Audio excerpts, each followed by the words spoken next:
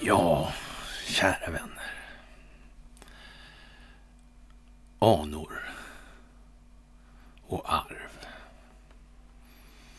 utgör vår historia. Vi är där vi är. För att vi har varit som vi har varit. Och Eh, det har lett oss hit, dit vi nu är. Och frågan är, är det någonting eh, vi är väldigt nöjda med? Är allting bra? Kunde vi ha gjort någonting annorlunda? Ja, det är väl inte så många egentligen som anser att de har gjort allting precis så bra som det varit möjligt.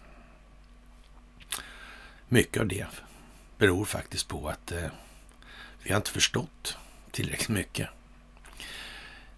Nu är tiden kommen för julen.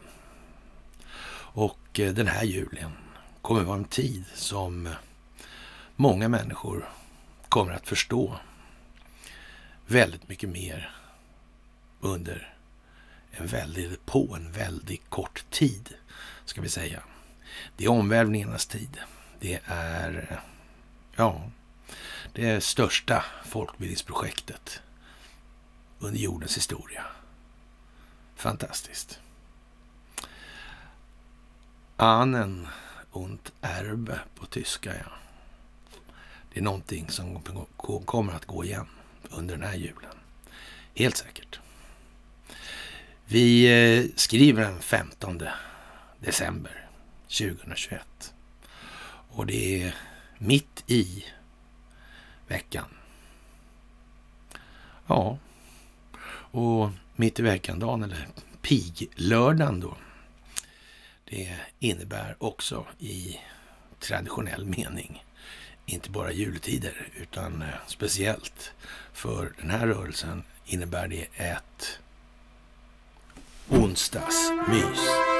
Ja, och eh, dessutom så ska ni ha, som alltid, det största av tack för det ni gör. Tack för gåvor på Swish och på Patreon.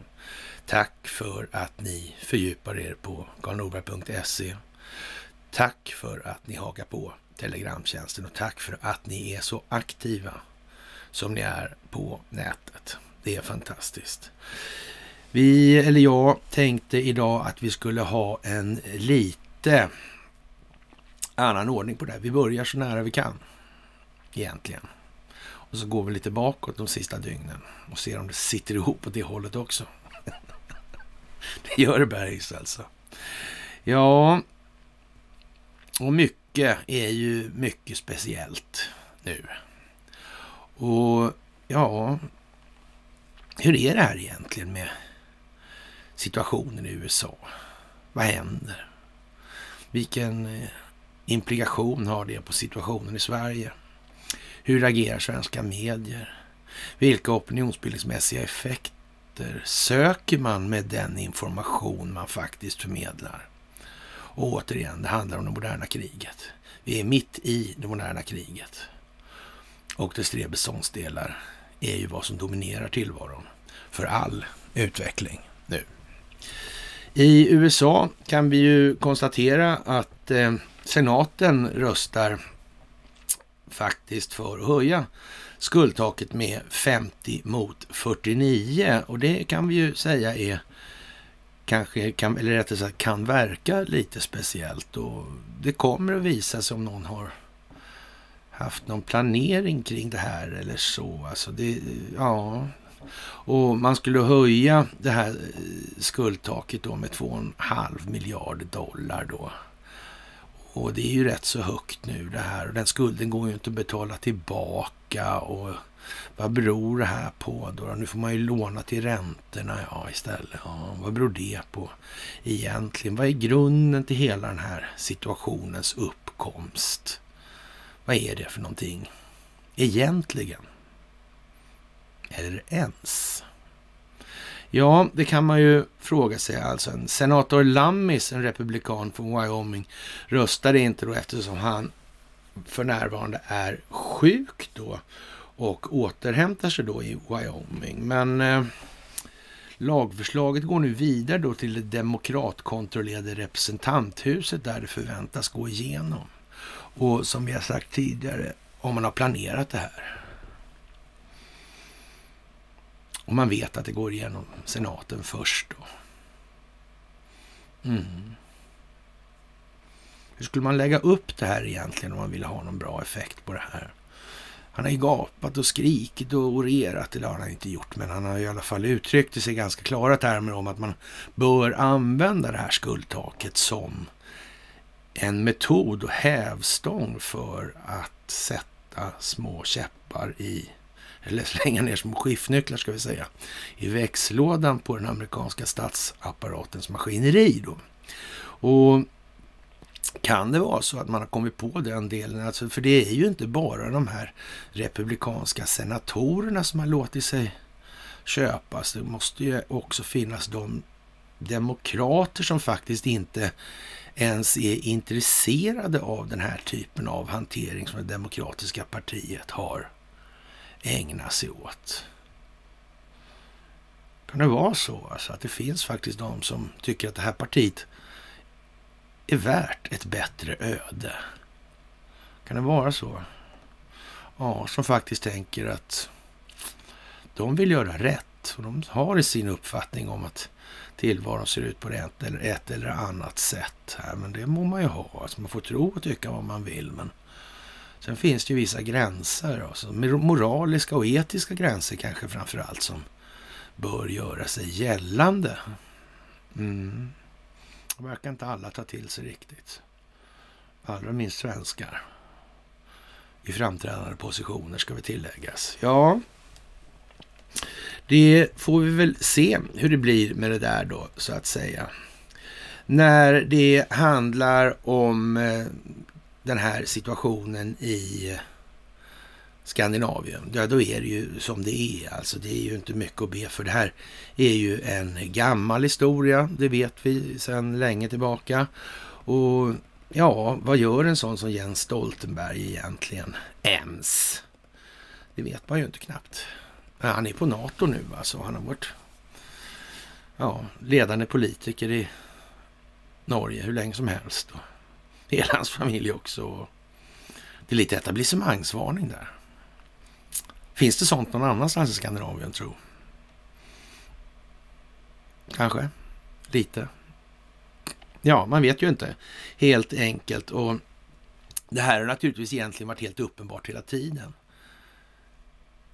möjligtvis lite mindre uppenbart än vad det är nu när informationsrörelseriktningen har förändrats från att vara vertikal till att bli i princip helt horisontell. Det är ju, spelar ju liksom ingen roll vad någon i etablissemanget säger eller inte säger numera. Det skiter ju folk höger fan i helt enkelt. Och så enkelt är det med den saken. Det går att korstabulera, det går att kontrollera, det går att se efter och så vidare. Och vad blir det kvar av det här? Vad blir det av trovärdigheten egentligen? Ja, covidiotin. Fantastiskt. Alla tittar på den nu. Den är makalös. Men samtidigt, inte ens de mest ruttna läkarna, och det är många det, kan riktigt hålla masken längre. Och de som är inte riktigt lika ruttna. De försöker rädda arslet nu så mycket det går. De tänker inte åka på en stolgångsockupation där inte, nej. Räcker det?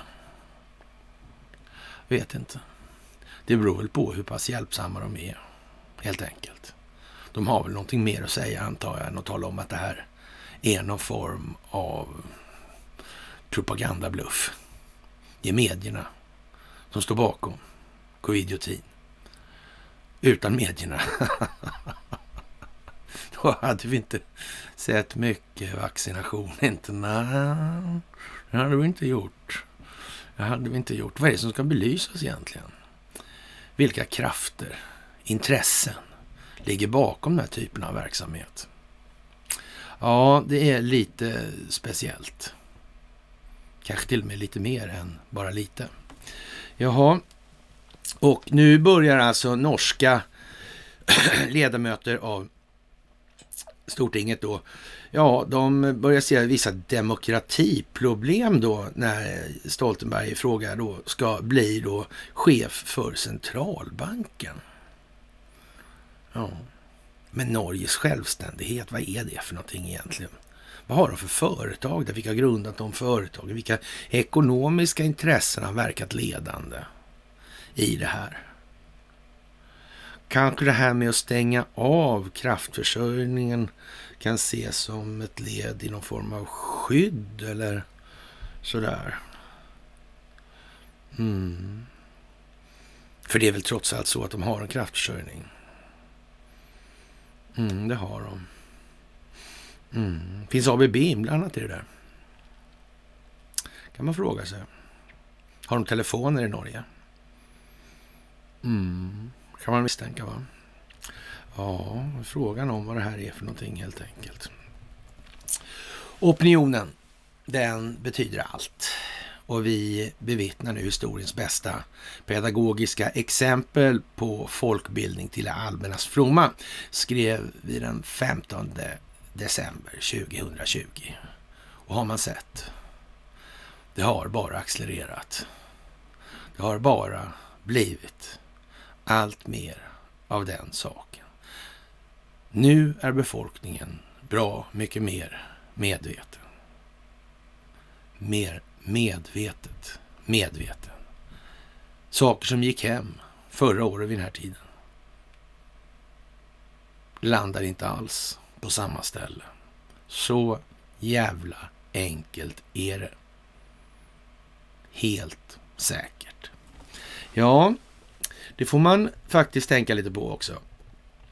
När eh, Ryssland och Kina gör så att de börjar prata om att skapa ett nytt finansiellt system utanför ja, västländernas kontroll då. Och då kan vi nästan säga att då, då är det en öppen utmaning lite grann kan man säga. Det innebär ju någonstans att de marknaderna i sig kommer ställas utanför det här som har varit, där då ekonomi som del av det moderna kriget faktiskt utgör i alla fall 15 procent och en inte obetydlig del för folk i allmänhet i deras uppfattningsvärld.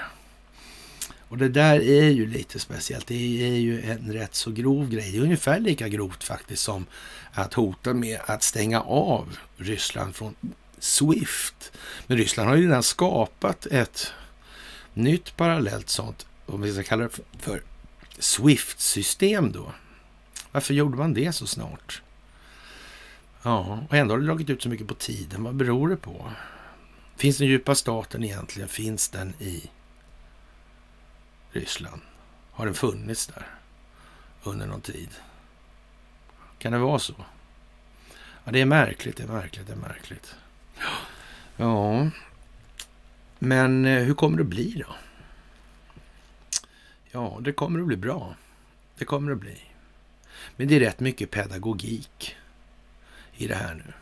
Det är rätt mycket saker som måste sättas på sin plats i, i det lite, eller ur det lite större perspektivet, den vidare vinkeln helt enkelt för att folk ska kunna se och relatera till vad som händer parallellt och sekventiellt. Det är viktigt att komma ihåg. Jaha, och eh, vad ska vi säga? Det var ju inte så länge sedan som vi såg att Kina, höll jag på att säga, men Indien, som är då Ericssons största land när det gäller antalet i arbetskraft då. Det köpte på något vis någon form av luftrumsskydd, en strategisk anordning där, S-400 av Ryssland. Och då är det ju sådär om man tittar på, även om, om den här militära delen bara är 5 av det moderna kriget, så, så den delen är faktiskt mest teater. Då. Ja, man säljer inte strategiska produkter utan att ha en långsiktig planering i sammanhanget. Det är ju inte riktigt så att Sverige ur det perspektivet skulle sälja någonting alls till Finland och inte minst med hänsyn taget till vad som har förevarit då med den här Elisabeth Rehn och de här grejerna och med familjen Wallenbergs inblandning i det där då. Ja, nej. Ah. det där är ju konstigt alltså.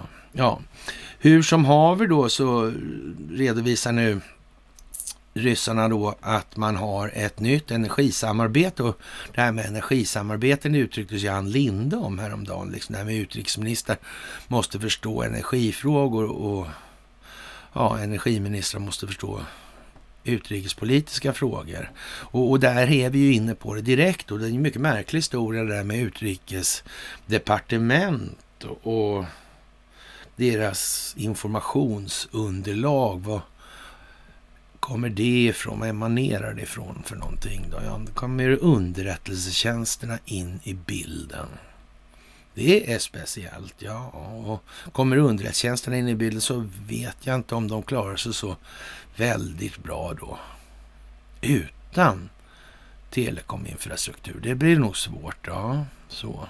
Och ni ser, det här börjar gå ihop väldigt tydligt så. Och Ja, man kan väl säga då att eh, det ryska företaget Rosneft har då gjort ett avtal med det här Indian Oil då. Och eh, det kommer att ge då jättestort genomslag på den geopolitiska scenen i det här. Och ja, den strategiska naturen här och långsiktiga, det långsiktiga partnerskapet är ju så att säga uppenbart och obestridligt i den delen. Och det innebär att någon annan part kommer nu att befinna sig på den sida som inte är lika gynnad som tidigare. Vilka kan det vara? Vilka kan det vara? Ja, fortfarande är det ju som så att många tycker ju inte det är något roligt att höra talas om den här djupa staten. Men samtidigt, det dyker minsann upp herrar som har varit inblandade i händelseförlopp som fan inte går av för hacke nu. I vår absoluta närhet, i våra sammanhang. Det kan inte vara en slump. Och det är ingen slump. Det är det inte. Det är helt säkert. Vi kan eh, säga att det har gått så långt så till och med kulturyttringarna ger klara tecken på vad som komma skall. Det låter lite kryptiskt, men det är bra att tänka på. Och det går inte att berätta om just nu. Så.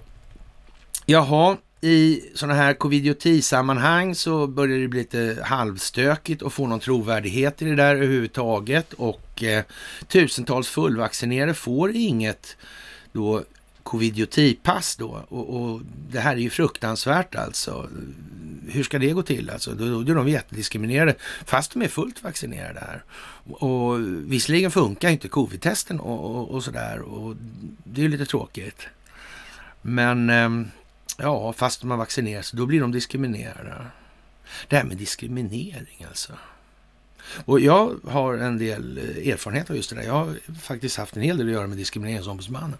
Och eh, hon hette Katarina på den tiden och vi har haft en hel del diskussioner om olika saker. Och ja, det här med att känna sig kränkt och sådana här grejer. Och jag hävdar väl någonstans då att man, om man känner sig kränkt, eh, det kan man ju acceptera att någon kan göra. Alltså, men om man då har tagit med sig någon som är då liksom rätt så känd för att ha sålt narkotika på en krog till exempel. Då, sådär. Och sen dessutom har man då tagit med sig en dold filmkamera i en väska då för att föreviga det här spektaklet. Och det är ju inte säkert att hela liksom, sällskapet då som inte vill gå in då därför att vederbörande då narkotikahandlare då inte får komma in. Det är inte helt glasklart att alla känner sig kränkta. Det, det verkar ju lite grann som att de nästan är införstådda med det här ändå. Då. Och, och det där fick de ju backa på. Och det här är ju någon sån här kränkthet. Vad är det? Det är, någonting, det är en fast definition. Det är liksom i, inom ett vin, visst strata. Det finns, det börjar någonstans och slutar någonstans. Och det kan man säga då i någon form av allmängiltig ja, så att säga, ett allmängiltigt tillstånd då inom det vissa givna intervall då? Eller är det någonting väldigt subjektivt det här egentligen. När blir någon kränkt av vad till exempel? Och det verkar mest vara på det viset att det här är något som gäller individen. Och, och det, det, är ju lite svårt att ha då, så att säga, allmängiltiga lagar i den meningen då eftersom alla upplever sig kränkta av olika saker och på olika grunder. Det kan man ju säga. Och varför har man sådana lagar då egentligen om de egentligen är helt meningslöst dumma? Vad beror det på? Varför stiftar man sådana lagar? Det är inget snack om att det ska vara lika behandling för det är helt självklart, men man får ju liksom inte hålla på med det här in absurdum. Så. Robert Aschberg blev jättesur att jag höll på så där också. Så fick två fina insiderprogram samma säsong då av honom. Han mår inte så bra nu tror jag. Det är bra faktiskt. Ja, han behöver bättra sig rent själsligt kan jag väl säga utan att överdriva det allra minsta. Han är inte någon sån här gigant i den ändan då riktigt. Jaha, och eh, vad ska vi säga? Vi, ja, vi tar det till noteringarna helt enkelt. De kommuner som inte agerar kan få surt efter. Ansvariga chefer kan bli straffansvariga om, kommun, eh, om patienter har blivit sjuka eller avlidit och detta kan knytas till en ovaccinerad medarbetare, säger en herre som heter Tommy Iseskog. Alla kommuner måste börja göra som Eskilstuna och den slumrande tillsynsmyndigheten IVO, Inspektionen för vård och omsorg, borde självklart ryta åt dem som ja, att göra det igår, helt enkelt. Och eh, ja, Regeringen och myndigheterna borde uppmana vårdpersonal att vaccinera sig varenda presskonferens. Nu får det vara sluttassat. Ja, Ann-Charlotte Matteus, jag vet inte på Expressen. Hon tycker man ska ta antivaxarna i örat, era fegisar. Ja, man ska väl vara försiktig kanske i det här eh, läget. Det ska man nog vara det är nog bra grej. Man ska vara försiktig när man önskar sig saker här i jultiden. Det har ju tendens att komma klappar på dörren. ja, vad ska man säga? Det är som upplagt för en minnesvärd jul helt enkelt. Det kanske är bra att knyta upp det till en sån högtid så folk faktiskt har en referenspunkt i tiden. När hände någonting och vad var det som hände? Kan det vara så? Finns det pedagogisk effekt med att göra på så vis? Jag menar, ingen jävel kommer ju ihåg en dag i mitten på april. Det måste finnas en tidsmässig referenspunkt. Julafton är bra, den är stor och central. Så kan det vara. Så kan det vara. Ja, vi vet ju inte. Vi får väl se helt enkelt. Den eh, ja, sydafrikanske läkaren som hittade den här omikronvarianten reagerar starkt på Boris Johnsons olika utspel då om mutationens framfart. Då vet ju vi också här att Boris, han vet, eller Bojo, han vet hur man spelar för att vinna. Han är så att säga väl förfaren i den hanteringen. Det är liksom ingen diskussion om.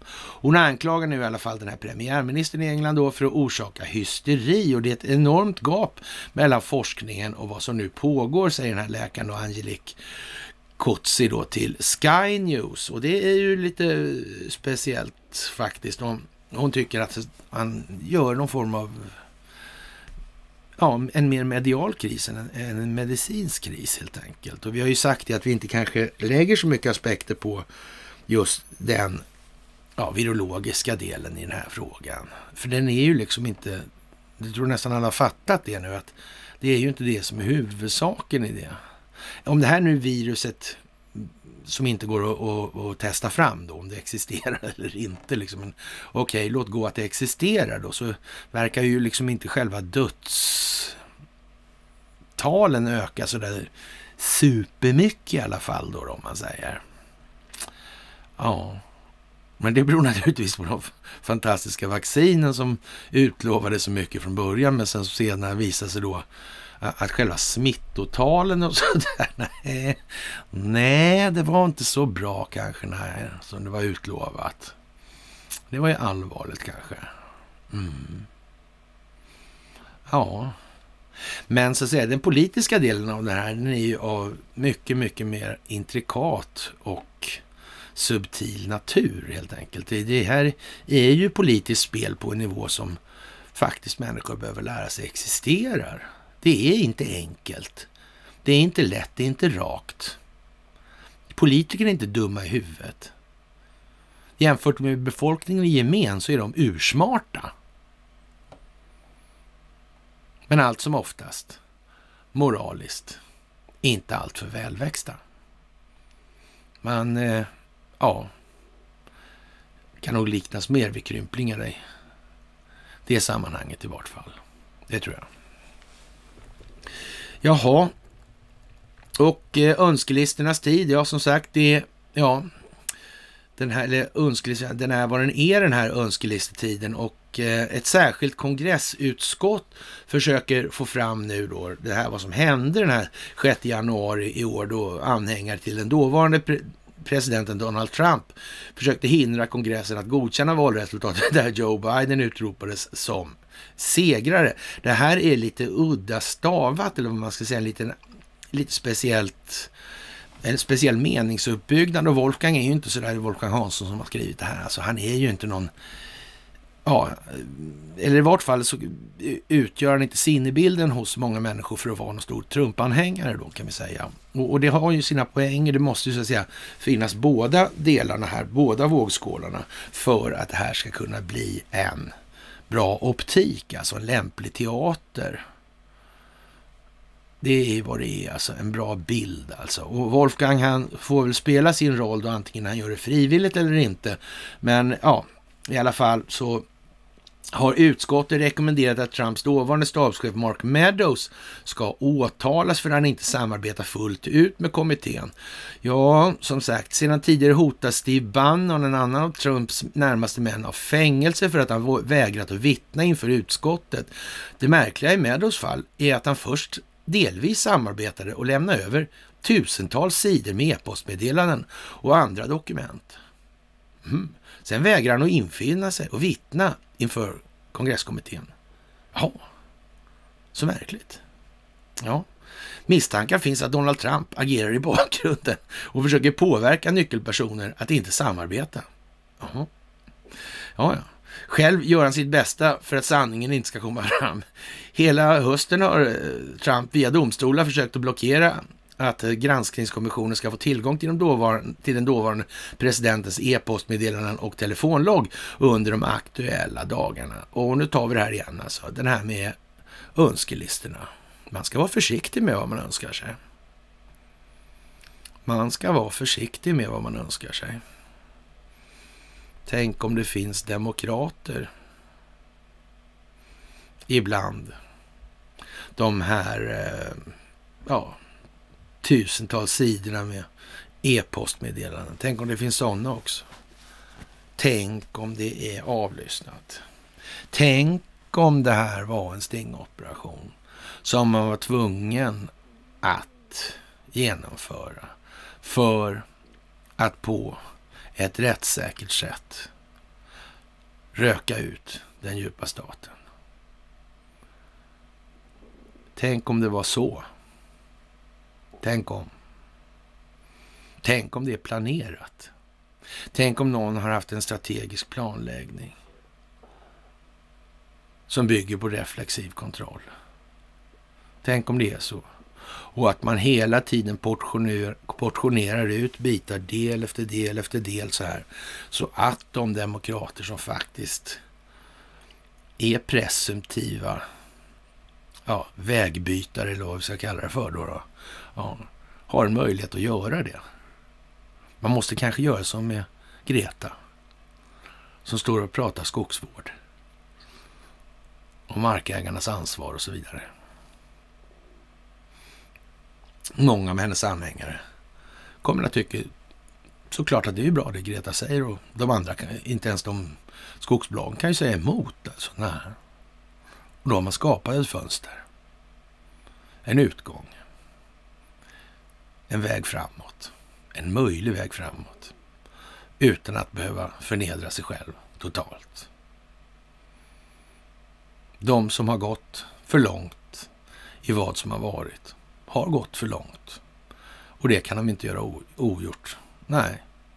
Och de kommer kämpa med näbbar och klor. Ända in i kaklet. Så är det också. Jaha, det är ju en speciell tid, måste man ju säga. Och eh, jaha, i de här olika korruptionssammanhangen och ska vi kalla det för eh, ja, moraliskt inte så beundransvärda sammanhangen så väljer då Aftonbladet att publicera några som adopterar där det är två män då som eller som har adopterat barn från Brasilien och den här hanteringen med de här barnen från andra länder och så vidare. Det, det är ju mycket svårt att se egentligen vad, vad gör en sån artikel för nytta egentligen alltså? Blir de här barnen gladare av det? Får de en bättre situation? De här två som ställer så glatt upp på det här, är det bättre någonting för dem här? Känns obehagligt lite grann, alltså, eller olustigt ska jag säga. Faktiskt, det där är... Eh, ja. Men det ska vi ha klart för oss i det här landet alltså. Vi är en särart sedan lång tid tillbaka. Det har inte bara varit fröjd och gamman i stugorna här alltså. Nej, det har det inte varit. Det har inte varit det alltså. Och det måste vi göra upp med. Vi måste göra upp med Annen och Erbe. Mm. Det måste vi göra. Anor och arv, ja. ja. Det är så. Det har etablerats en kultur. På vissa håll till och med en tysthetskultur, eller tystnadskultur. Dock av lite mer komisk art och omfattning kan vi väl tillägga sådär då. då. Vi kommer tillbaka till, eller vi kommer till det. Jaha, att önska sig demokrati kan ju vara lite tokigt kanske om man lever i en skendemokrati och, och ingenting egentligen är vad det ser ut som om man har utnyttjat och ljugit och bedragit och alla sådana här avarter som finns i princip. Och eh, ja, tyska ja, specialstyrkor har, ja, vad ska man säga, genomfört en razzia i staden Dresden efter misstankar om ett planlagt mord på delstaten Sachsens ministerpresident Mikael Kretschmer från CDU då rapporterar flera medier. Mordplanerna blev kända efter att journalister på public service-kanalen ZDF, eller ZDF, infiltrerat en hemlig chattgrupp i appen Telegram då, där uttryckte flera personer dödshot mot Kretschmer då på grund av hans stöd för vaccineringen mot covid-19 och delstatens coronarestriktioner.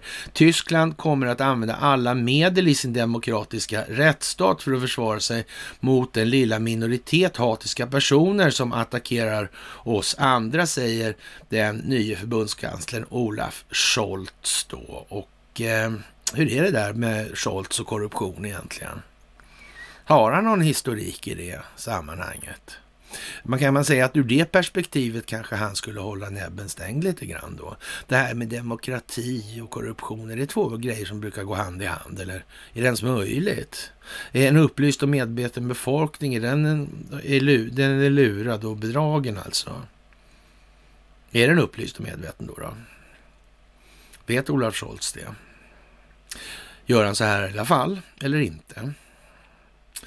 Man kan väl säga så här att önska sig demokrati eller påstå att det är demokrati eller sådär. där.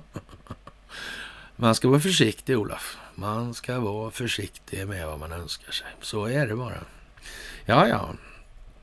Ja, ja, vaccinmotståndarna, planerar alltså mord på tyska politiker. Då kan man väl säga så här, det är ju en rätt så dramatisk rubriksättning man håller sig med i det sammanhanget med avseende på vad man redovisar faktiskt ligger till grund för det här. Då, då.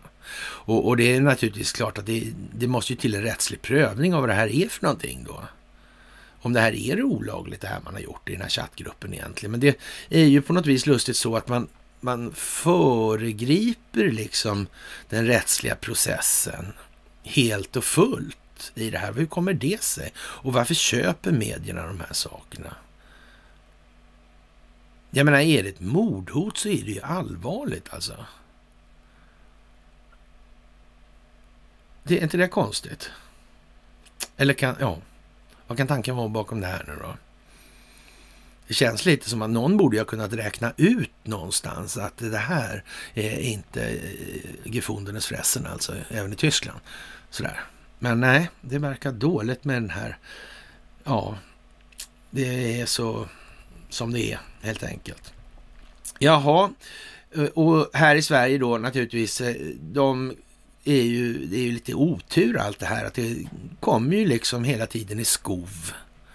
Och det här blir bara värre och värre och covid-test eller covid-testerna är slut i lager på de flesta apotek alltså. Det kommer ju bli oerhörda svårigheter med det här. Och då kan man ju inte vaxa sig alltså. Om det tar slut bara. Mm.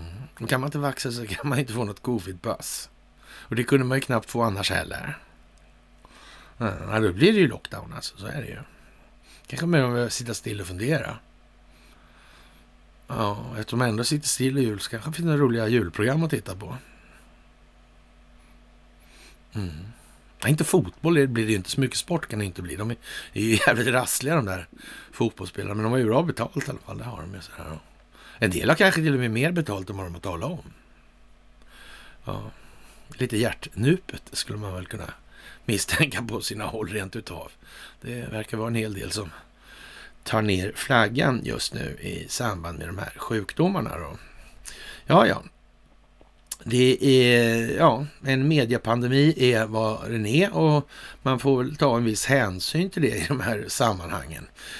Det håller på att bli lite tokigt rent ut sagt det här med förföljelsekampanjen mot Barbara Bergström. Det är ju lite uh, udda kan vi ju säga.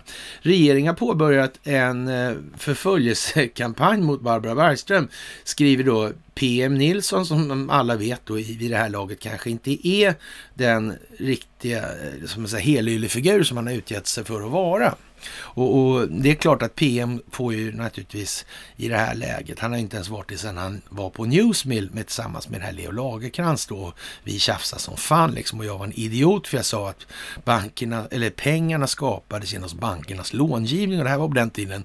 Då, då var man en riktig dåre om man sa något sånt alltså.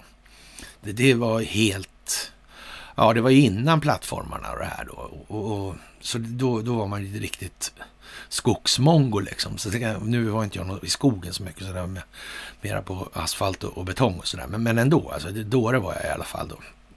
Så där kunde man inte säga. Och, och, det blev ju ett jävla liv då. Hur som helst, PM Nilsson han ger sig på den här ja, förföljelsekampanjen mot Barbara Bergström. Och apropå flera ministerinlägg om Engelska skolans grunder. Han menar att ministrar i vanliga fall är noga med att inte uttala sig i enskilda ärenden, men eh, då det kan stämplas som ministerstyre. Men det verkar inte gälla då i fallet Barbara Bergström. Det står dem fritt att lämna fram lagförslag hur nedmonteringen av friskolorna ska gå till, men det är fortsatt viktigt med gränser för statsmakterna. Och i den meningen kan vi väl ge PM eh, ett rätt i alla fall, tycker jag. Det, det är väl ingenting sådär. Och, och, att det ska bli nedmontering av då de här friskolorna, det är väl inte så mycket att be för heller. Det tog ju så att säga, ja, den här op opinionsbildningen som pågår just nu och, och, vad som har redovisats med till exempel den här engelska skolan där. Och det, det verkar ju ungefär ge vid handen att det är färdighaft med den delen den där delen av sagan är slut. Alltså nu gäller det ju hela tiden att hålla optiken anpassad för den förändring och utveckling som måste till för att det här ska leda fram till ett långsiktigt hållbart utvecklingsklimat för samhället.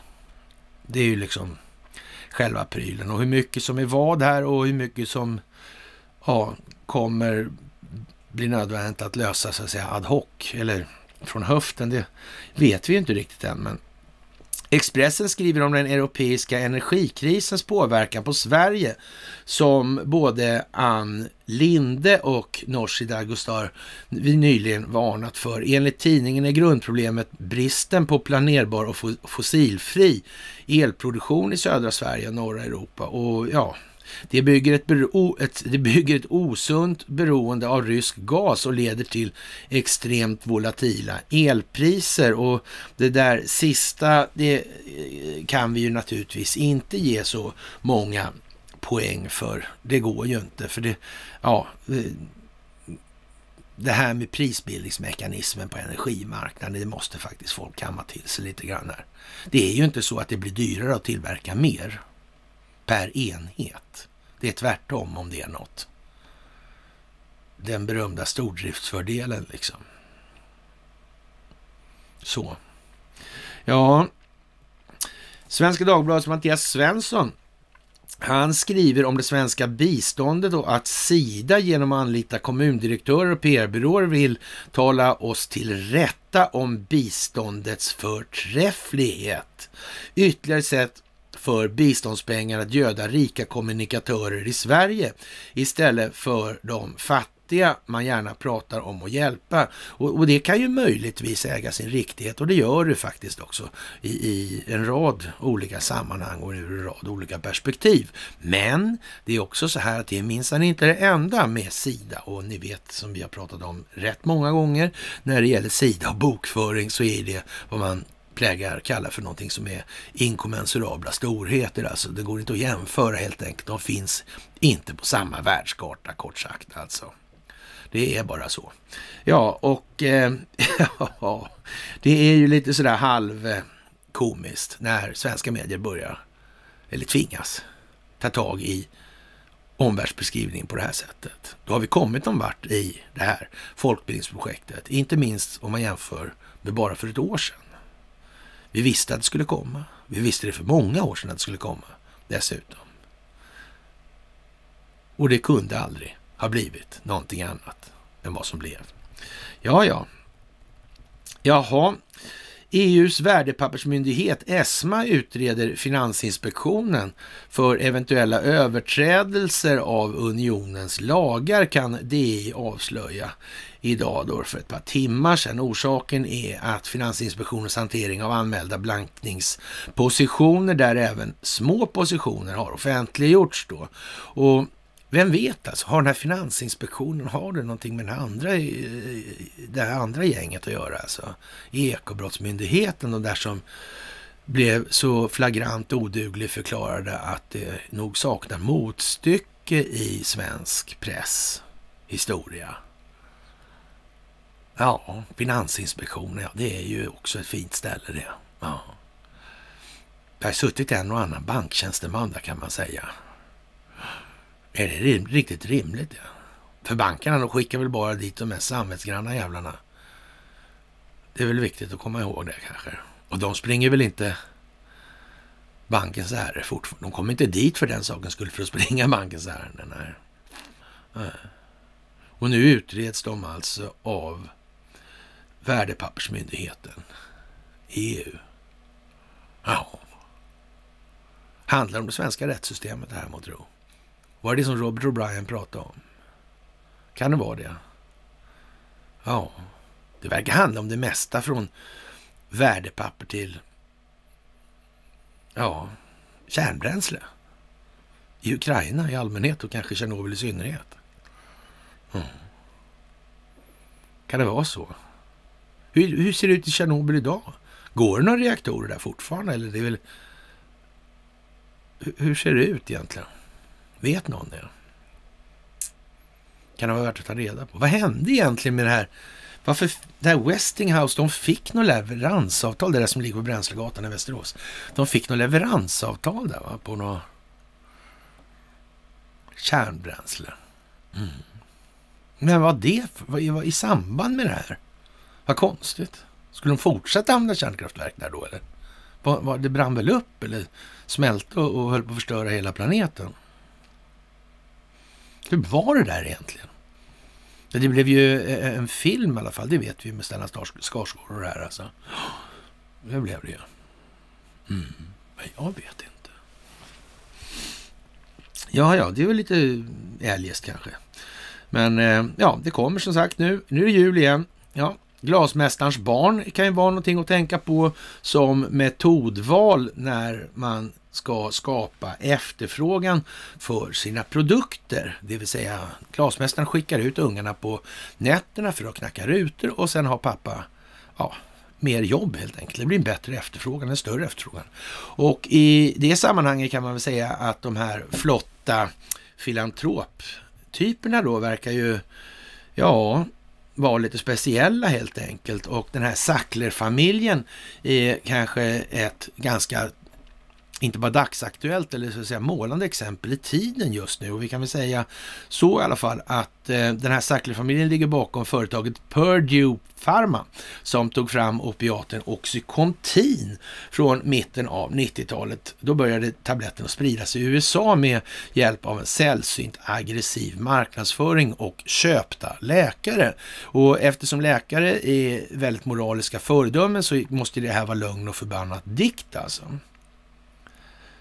Eller så är det ju inte det, alltså, utan det är ju inte bättre än någon annan människa. Och i dagens samhälle, den moderna västerländska människan är ju kanske inte sådär eh, supersvår super svår att prostituera. Och, och faktiskt alltså. Ja, hur som helst alltså.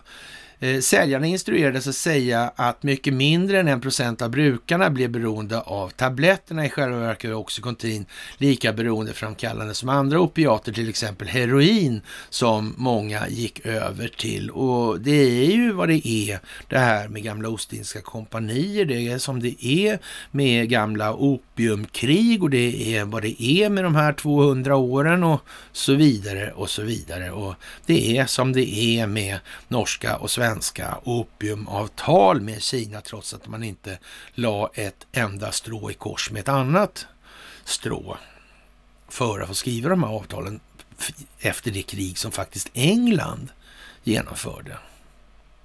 Det var ju konstigt. Ja, det var konstigt faktiskt. Ja, ja. Men man var väl tacksamma och glada för att Gustav III inte längre var så aktiv som han hade varit tidigare. Så kan man väl säga. Och eh, ja, Google, de gör sitt till fortfarande och de behövs ju som då så att säga hävarm eller momentskapande faktor i de här sammanhangen, precis som Youtube gör och som Facebook gör. Och det här är ju, oj oj oj, oj det är så mycket nesligheter med den här censuren och hej och hå. Men egentligen så ska man nog tänka sig för innan man tuggar på för mycket i den delen alltså. Mm. Så här när vi börjar komma in på upploppet, hur fan ser det ut egentligen? Ja, första delen på pandemin var i alla fall en sak som hände i det sammanhanget och det var ju så mycket de behövde ju stöd av de här stora företagen också. Ja. Alltså sålde de företagsobligationer.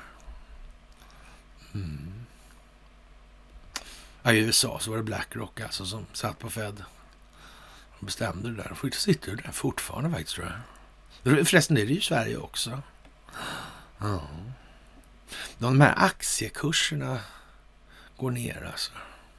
Det är väl aldrig så att eh, någon har försäkrat sig mot kurssvängningar i de här sammanhangen. Nej. Man skulle ju hypotetiskt kunna säga så här. Att Naturligtvis av ren välvilja skulle man kunna tänka sig så här om Donald Trump till exempel skulle starta ett mediaföretag eller den amerikanska staten skulle upptäcka att det kanske är lite fördelaktigt att ha kontrollen över den här typen av infrastruktur. Facebook då till exempel. Då. Och sen rasar Facebooks aktie åt helvete, helt enkelt. Då kan ju faktiskt någon köpa upp den här då. då. Och så är ju så att säga hela situationen lite annorlunda upplagd plötsligt. Mm. Men då krävs det nog att man har lite kontroll på den här telekominfrastrukturen faktiskt som ligger i botten på alltihopa. Det är nog bra att ha då, faktiskt. Annars kommer de ju åt den den vägen. Mm. Det är nästan en förutsättning helt enkelt att ha den under sina vingars fromma beskydd. Så kan man misstänka va? Mm. Kanske det kanske. Ovaccinerade kommer i alla fall att förlora jobbet på sökjätten. Och eh, de måste vara fullvaccinerade till den 18 januari. Och där har vi väl en ganska så bra temperaturmätare på tidsrymderna eller på tidsrymden, vad, vi, vad det handlar om. Det ser ut att bli en väldigt fröjdefull jul på sina håll. Något lite mindre kanske på andra håll. Så. Och det är väl fint, tycker jag nog. Det måste vi alla tycka, tror jag. Vi önskar våra medmänniskor en god jul, även de som kanske inte tycker att det blir en så god jul. Ja, ja. Det är ju roligt som fan. Jaha, och sen har vi då den här fröken Fritzson. Va? Det är ju någonting i hästväg. Och vi satte väl då en liten rubrik på den här då, när det naturliga ledarskapet inte räcker till. För det verkar vara så äh, i de här sammanhangen att det är en rätt så kraftig överrepresentation på kvinnor. Och vi har ju fått lära oss då liksom under, ja, ska vi säga 80 och 90-talet då, framförallt då, det här kvinnliga ledarskapet, liksom var mjukare och, ja. Och man undrar ju stilla liksom då, ja, som man i idrottssammanhang hade man ju då liksom ungefär vilka attribut eller vilka kriterier då som skulle verka för att man skulle kunna, eller, framför, eller kanske som militär också då, eller så, vad är det egentligen som gäller för att det här ska... Man, man, det fattar man nog ganska tidigt om man var lite inne på de här frågorna. Att eh, nej, det här med diskriminering i den meningen, det är värdelöst. Alltså, då blir det likabildning inom gruppen. Alltså, det ska man nog helst försöka ge fan i, kort sagt. Alltså. Ja. Men det kvinnliga ledarskapet, det var aldrig liksom på det sättet. Det var aldrig det här, ja, så att säga. Och i och med att det är så, så innebär det att det är inte någon som, ja, föredras framför någon annan. Det, kan alltså, det, det naturliga ledarskapet kan inte diskriminera, för då är det inget naturligt ledarskap längre. Ja, och, och alla vet ju då ungefär hur lätt det är att skicka iväg två eller tre brudar till Mallis då på, på charterresa Va? när de har, hur, vad som har hänt när de har kommit på planet. Va? Och, ja, och sådär. Alltså det, det, har en tendens att bli lite ligabildning, alltså det blir två mot ett ganska snart alltså. Det har hänt förr i historien. Så det, där, man kan ju säga så här, det är klart att det finns ju en viss biologisk grund i det där också, det här med avkomma, alltså fortlevnad, överlevnad och sådana här grejer. Det, det, det, är ju helt givet, det måste vara så. Men, men, och därför blir man lite förundrad då när man ser, då, hur kommer det sig egentligen att någon kommer på den geniala, den inte så geniala idén, liksom börja snacka om det här kvinnliga ledarskapet. Ledarskap är ju vad det är liksom. Jag menar, kan ju inte ha det kvinnliga ledarskapet och det manliga ledarskapet. Och då har vi ju två olika sorters ledarskap direkt här. Och ledarskapet skulle ju inte diskrimineras har vi. Och det här är ju liksom, ett, man anar liksom att det ligger i farans riktning att det här hamnar man snart nere hos Athanasius alltså ja, på 300-talet efter Kristus, alltså, eller ungefär när man den moderna kristendomen började då, när klockorna hade stannat då. Så dumt är det ju, men det, tideräkningen börjar ju där någonstans då. Och det här är ju lite sådär speciellt. Och, och, och hör och häpna då när det gäller då den här Helene Fritzon då, så ja, nedgradera personal för att få dem att sluta liksom. Och det verkar ju vara ungefär ganska så precis exakt det vi just beskrev här och nu. Det, det verkar vara lite modellen här. Hur kommer det sig det här egentligen? Alltså, och, och, och vad, säger, vad, är det rimligt då att man då i ja, olika sammanhang som ska hållas opolitiserade till exempel då, i rättssystem och så vidare, det polisiära och så här. Är det rimligt att man håller sig med den typen av preferenskartor? Eller är det kanske för samhällets vidkommande direkt olämpligt? Och hur kommer det sig att man inte har, ja, så att säga, tänkt, det har man ju gjort, som en tänkt på det här, fast man har tänkt på det lite annorlunda än vad man kanske har tänkt sig att man har tänkt. Mm. Eh, det där är ju lite så osnyggt helt enkelt. För att inte säga jävligt osnyggt skulle man till och med kunna säga. Ja, ja. Det är ju som det är. Och eh, ja, Svenska Dagbladet gör en liten insats idag och eh, de tycker då, vad kan då, eller att ha varit sjuk kan ge starkare skydd än vaccin. Och vad kan då möjligen vara anledningen till det här? Och genomgången covid kan ge starkare skydd mot smitta än bara vaccin, visar en dansk rapport. Röster har också höjts för att intyg på att man har haft covid ska gälla i Sverige. Men varken experter eller Folkhälsomyndigheten vill ändra på den strategin. Jaha, vad konstigt. Ja, men alltså om det är nu så att den här sjukdomen, eller vad vi ska kalla den för då, ja, den existerar då. Och, och den är inte särskilt farlig då. Och, och sen så Ja, och de här äh, vaccinerna och boostershotsen och grejer, de verkar ha medföra mer problem än någonting annat eftersom de inte har någon effekt då. Så det blir ju så med viss naturlighet också. Och vem vet, man kanske till och med har dem för att få bort korrumperade fotbollsspelare, höll jag på att säga. Men sådär. Ja.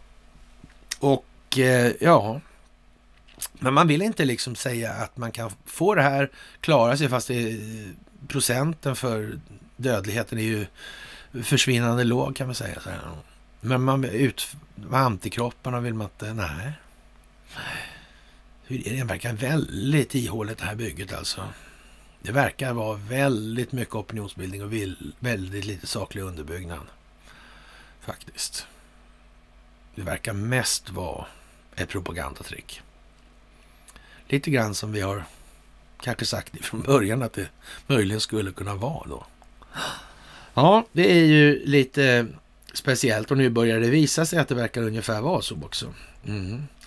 Ja, ja, det är ju som det är. Jaha, regeringens bankskatt riskerar välfärden och eh, ja, i realtid då. Jag vet inte hur dumt det ska behöva bli helt enkelt. Återigen, vad handlar det om för någonting, allt det här? Så fort det kommer till ekonomi. Vad är problemet? Är det inte så att det finns en ackumulerad räntekostnad i ekonomin?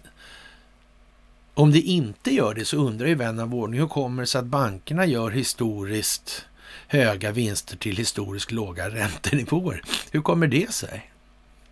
Annars, det skulle vi gärna ha svaret på. Det vore ju kul. Men det spelar ingen roll om man säger så, för det är bara foliehattsteorier. Nu är det inte det längre i och för sig, men förut fanns det ju faktiskt ingen ackumulerad räntekostnad överhuvudtaget i, i de här diskussionerna. Jag ska säga er att Lars Jonung har erkänt en gång där i mitten på ja, mellan 2000 och 2010 där någonstans på Gotland och på Almedalen att ja, jo, det är sådär, men vi vet inte vad vi ska göra liksom. Så det kan ju inte bara liksom säga att det är värdelöst. Nej, nej, men vi kan ju sitta här där vi sitter nu istället och så kan vi hålla på med pandemier och sådana här grejer. Det kunde vi göra. Så Lars Jonung, valde du fel eller inte? Ja, hur, hur blev det nu då? Var du en idiot eller inte?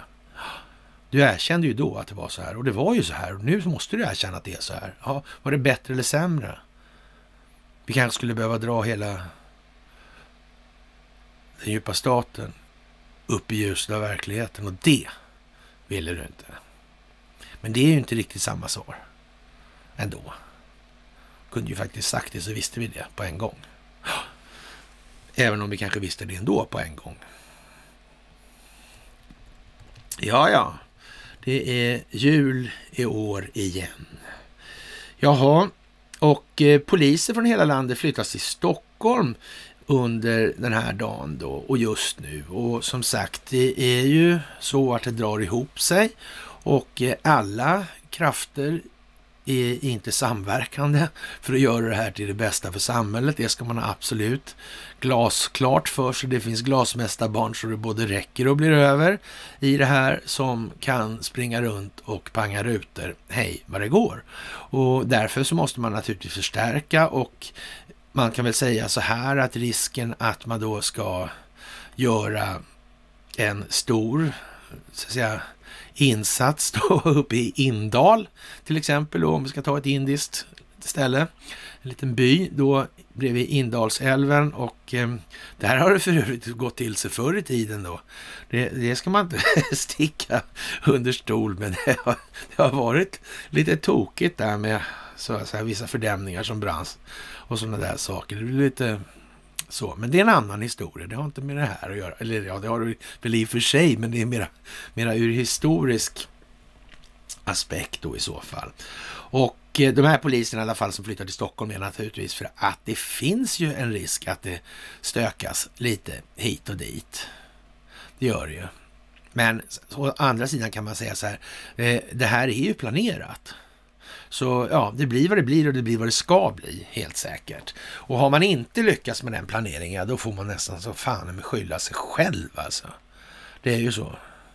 Det är ungefär som med det här, om man nu lyckas förgifta hela jordens befolkning med de här vaxen då, då får man väl ta ansvar för det också antar jag. Och det lär inte vara något litet jävla ansvar att ta på sig. Ja, och de presidenter som har hejat på det här med halv vetskap om vad det här är för någonting. För det är naturligtvis på samma sätt som med Google, Apple, och, eller Google, Apple och, och, Facebook och YouTube och det här alltså. Ja, man chansar ju inte. Det gör man ju inte. Man gör ju inte det här upplägget så man kan köpa de här bolagen billigt sen. Utan att, och då blir det inget gnäll om expropriation eller? Utan de har ju faktiskt betalat marknadsmässiga priser. Man kan ju för fan inte rå för, man kan ju inte rå för att det marknadsmässiga priset rasade som fan liksom. Man är ju närmast snäll när man offrar sig och köper de där jävla skitaktierna. Ja, så. Men det är ju ett helt upplägg så att säga. Hur, hur har man tänkt och hur effektueras det här för att nå vissa givna effekter längre, längre fram?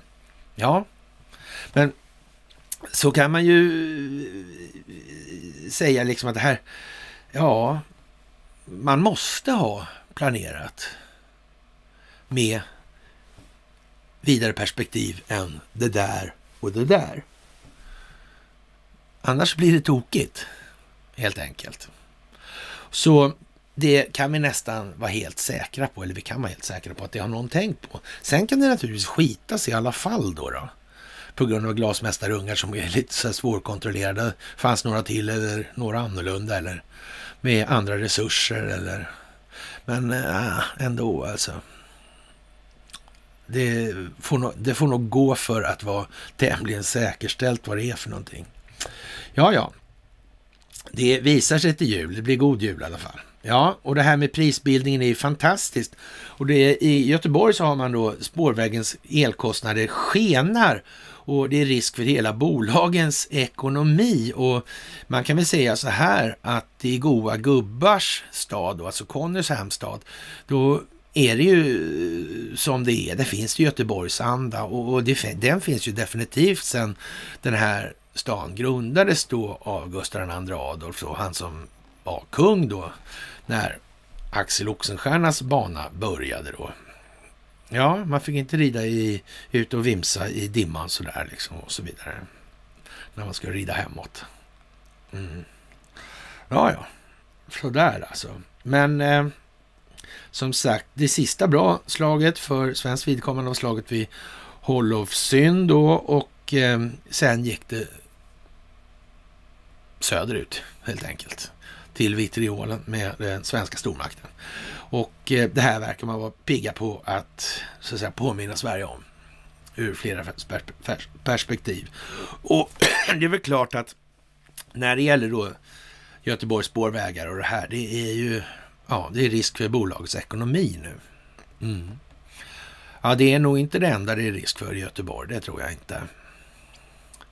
Det är ju Göteborgsanda där, som sagt. Och det har pågått en hel del och eh, det sitter inte bara i tapeterna. Det gör det ju inte. Det gör ju inte det. Nej. Och det är faktiskt så, det har varit lite så här halvknöligt med Göteborg överlag alltså.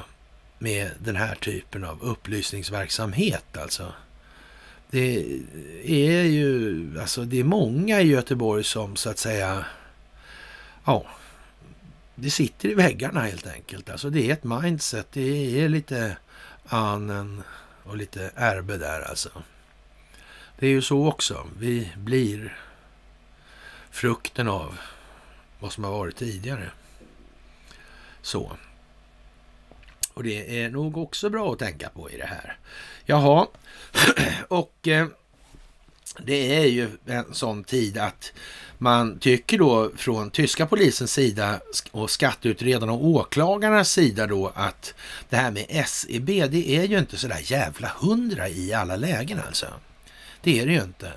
Och eh, sett ur ett lite mer historiskt perspektiv, alltså för några år sedan i alla fall, så där, då hade man ju den här eh, ja, Josef Ackerman då, han satt i Investorstyrelsen. Han satt ju i flera andra styrelser då, för några småfirmor i Tyskland då som, ja men, ja, VAG eller ja, Deutsche Bank eller sånt där liksom. Och det var ju bara för att de här företagen egentligen då eh, tyckte det var trevligt med de här eh, människorna från Sverige alltså. Man beundrar dem. Det var, liksom, det var lite romantik i det här som gällde. Alltså. Det var därför de fick de här styrelseplatserna. Alltså. Mm. Så var det ju. Ja. Och, och, precis som det här med eh, Anna Närbe-projektet alltså. Ja. Och Sven Hedin-institutet inom ramen för det där då. Mm. Och hans upptäcktsfärder hit och dit i Himalaya och Tibet och allt det här. Ja och hans nära vänskap med Himmler. Och det här Sven Hedin-institutet. Den uppskattning som Adolf Hitler hyste för Sven Hedin, till exempel. Samma Sven Hedin som skrev Borggårdstalet åt den svenska kungen i parlamentarismens linda. Men det var inte kontrollerat. Det var inte det någonstans alltså. Ingen kände någon annan någonsin. Whatsoever. Ja, och vem vet? Det kanske visar sig snart en massa saker i de här frågorna. Hur som helst, razzia mot SEBs kontor i Tyskland då under natten. Och det är ju lite sådär alltså. Vad kan de leta efter? Ja, de var inne och kollade med servrarna och sådana här grejer. Ja. Man kan ju tänka sig så här att det var en liten omkoppling som skulle göras där på hårdvaran så att säga så att någon kunde tanka över en kopia på dem där någon annanstans. Det kan man ju tänka sig också sådär. Men 80 man, det är ju rätt många alltså. Det gäller alltså att hålla låsning på mycket folk alltså, så inte någon gjorde något dumt alltså. Så kan man väl tänka sig. Det var väl inte 80 man som skulle då bryta i någon serverhall på en massa... Nej, det tror jag inte på. Nej, så var det nog inte, helt enkelt. Och det kommer att visa sig. Jaha, så igen och igen och igen och igen. Elpriserna har aldrig varit så höga. Värst drabbat i södra Sverige. Den högsta nivån i år hittills är 6,46 då per kilowattimme. Och eh, det vill säga 2700 75 procent högre än motsvarande period förra året. Även i norra Sverige har priserna stuckit iväg ordentligt under tisdagsförmiddagen låg toppen på 2,75 då medelpriset i elområde 2, där större delen av Västerbotten ingår, var under november 43,89 per kilowattimme, vilket jämförs med förra året och medelpriset på samma period var 6,6 öre per kilowattimme, en öken, ökning av snittpriset med 560 5 procent. Det är ju i alla fall en rätt så rejäl ökning. Orsakerna bakom rekordpriserna är flera. Dels är det ovanligt kallt. Okej. Okay. Vänta nu. Priset per kilowattimme ökar för det är kallt. Så produktionskostnaden ökar alltså. Det är ju vad man säger här alltså. Hur menar man då? Eller alltså det är konkurrensen om de Ja, de bjuder över varandra liksom. Jaha, marknaden bjuder över och ja, det finns ett begränsat utbud på något vis som gör att marknaden trissar upp priserna och vill ha de här. Men är det inte så att det är inte bättre för elproducenten i sånt fall att alltid skära i utbudet så att den typen av mekanism i så fall håller i sig om det är det någon som är så jävla dum så den tror på det där så, så ja, men då i alla fall, blir i alla fall det den logiska konsekvensen. Ja, och tyvärr, kära vänner, kära vänner. Ja, vi, vi är ju där vi är, Annenerbe. Ja, är det inte tråkigt? Att falla på eget grepp skulle man väl kunna säga i det här va? Ja, ja, ja, ja, ja, ja, ja. Ja, ovanligt kallt och en ökad förbrukning alltså samtidigt som vindkraftproduktionen är fantastiska, är, fantastiska, är låg då det blåser lite. Men det måste man väl ha upptäckt tidigare ändå att det inte var så bra med vindkraft under vintern eftersom det inte blåser. Måste man väl ha upptäckt. Jag ser inte det. Nej, nej. Man missar det också. Ja, ja. ja, ja. det vet man ju aldrig. Hur, hur, hur kommer det här sig liksom? Verkar inte det liksom lite elementa kanske? Då? Nej, inte alls. Inte alls. Nej, nej då, vad dumt av mig. Dumt av mig. Förlåt, förlåt, förlåt. Jaha, och eh, ja, i norr har isbildningen vid vattenkraftverken varit en bidragande faktor, vilket har följts av att man inte kört vattenkraften på full kapacitet. Man kan ju säga att man tappar då rätt mycket ur de här älvarna av någon anledning som bara går förbi. Det är ju en annan rätt så speciell grej. Och vad ska man säga, det känns som att det ligger lite argan list bakom det här i en eller annan omfattning, sådär typ 1000 procent eller 100 procent i vart fall. Då. Ja, det är ju lite sådär och, och varför isbildningen då skulle vara en bidragande faktor i det här när det, det ser ju väldigt sällan ut på det, alltså, man får kanske tänka sig att man tar reda lite grann på hur en sån här ett sånt här kraftverk ser ut och fungerar. Man kan tänka sig att när man tar Ljungan till exempel och så tar man då det kraftverket som ligger uppe i till exempel Nordaneder där och hur kommer det där vattnet ner i älvfåran liksom och sådana här saker. Hur ser det ut till exempel uppe vid Ljungaverk? Torpshammar. Sådär. Och ju mer man tittar på sådana här kraftverk, desto mer förundrad blir man varför inte några fler människor... Ja, det är konstigt. Det är konstigt. Men lättjan. Den är vad den är. Den är vad den är. Ja, ja, men det är till att ta tag i det. Det kommer lidande för den sakens skull också. Sådär, så att eh, ja. I söder i alla fall beror det på, främst på att eller på ett produktionsunderskott. Jaha, ja, men det har väl de alltid? Eh, eller har vi missförstått det här alltså? Till följd av nedstängningen av kärnkraft då. Och eh, för att det blev alltså inte bättre av att stänga ner den här. Situationen förbättrades alltså inte förbättrades inte av att stänga ner kärnkraften alltså. Eh, det var ju bra. För att stötta upp har man startat upp det oljeeldade kraftverket i Karlshamn. Det måste vara synnerligen klimatsmart alltså. Ja, men tyvärr är det ju så här att det här pedagogiska exemplet, det här folkbildningsprojektet, går ju ut på att exponera de här motsägelserna så att folk ser dem och förstår att det här är inte rimligt. Och om de nu har mage att stå och säga det de säger till befolkningen, och ändå är medvetna om hur saken ser ut och fungerar i verkligheten, ja då kan det möjligen vara på så vis att man också har farit fram med en något lättsinnig hållning i sin beskrivning av eller till verkligheten. Det är ju så alltså. Jag menar, kan man ljuga kan man ju ljuga om allt och det har man ju naturligtvis gjort alltså.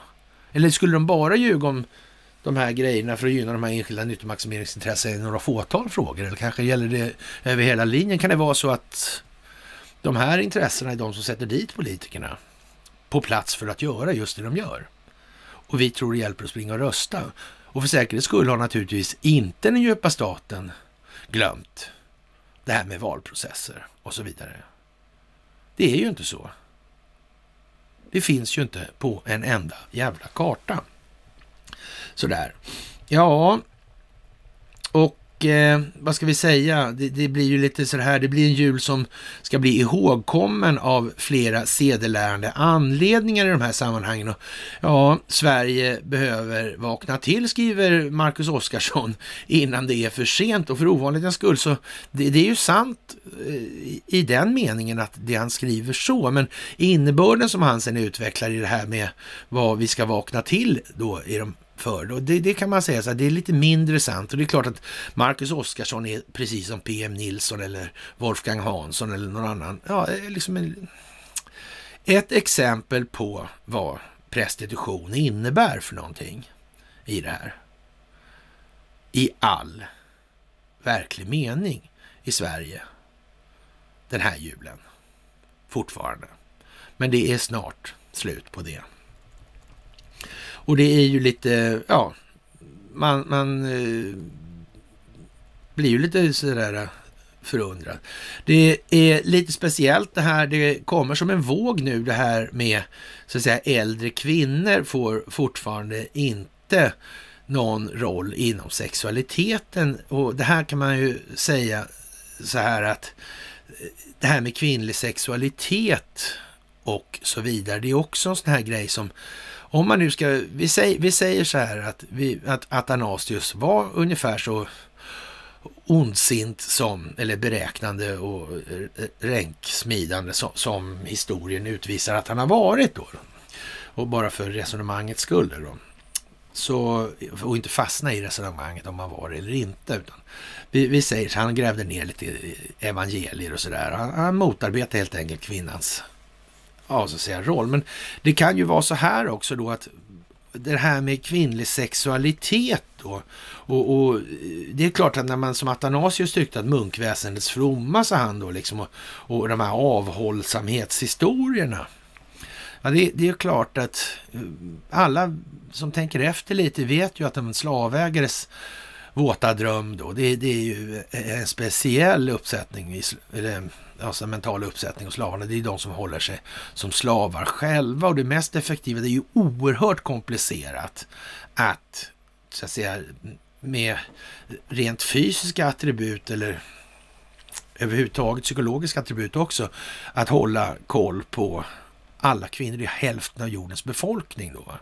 Precis som vi sa tidigare här, det är liksom en rätt så stor indelning i grunden och det är klart att det, det bästa är ju naturligtvis om de här kvinnorna kan hålla sig själva och ha en idé om att det, det, det är liksom det, det är bra med en manlig karriär och sådär och det är männen som förtrycker och, och så vidare. Det är liksom, ja, då, då, får man ju upp kampviljan, då blir kampen mot mannen då. Det är inte på något vis så att kvinnan i den meningen kanske har en roll i det där i alla fall. Så kanske egentligen skulle vara lite smartare om hon agerade något annorlunda i förhållande till sig själv i den meningen också. Och Det här är naturligtvis oerhört känsligt att, att, ta upp, men icke desto mindre så kan vi se då att det här börjar ändå komma upp. och eh, man, Vi ska inte helt utesluta anledningen att faktiskt se exakt som jag säger i de här frågorna nu. Och, och, jag är tämligen övertygad om att vi kommer få se det inom en väldigt, väldigt snar framtid, hur det här helt plötsligt eskalerar. Och, och det här är ju, ja, utan sexet är nya universumet en förbrid, förvriden dystopi, full med rätt åsikter men utan kropp. Damerna rör sig som vålnader över sitt forna liv, liksom svävar uppifrån utan att delta eller synas. Äntligen förstår jag Dantes limbo. Man är levande men också död. Ingen älskar, ingen älskas. Det finns en massa saker att, säga om det här och det är ingen diskussion som man hanterar på fem minuter sådär bara och är inte ens på ett, ett enda mys utan det här är någonting så att säga en process som kommer att breda ut sig i samhället och folk kommer faktiskt få fundera efter eller över vad egentligen är det man gör? Vad har de gjort? Varför har det blivit som det har blivit? Hur har vi tänkt? Det är ju lätt det där med girigheten, det här med pengarna, det är lätt liksom att kanalisera ihop det där så att betalningsmedlet blir den så att säga strategiska mentala förträngningen hela tiden. Och tänk om de har använt samma system och samma metodval då, eller vad man ska säga då, i det här på något vis. Men man har använt sexet som säga, form i det här. Och ja, vad ska vi säga?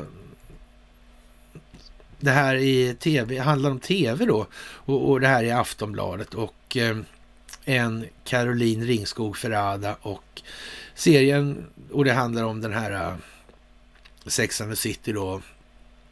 serien går med på att kvinnor får åldras, men sen så drar man gränserna. Så de får vara mödrar, alkisar, jobba. De får inte älska, de får inte älskas med. Hur kommer det här sig egentligen?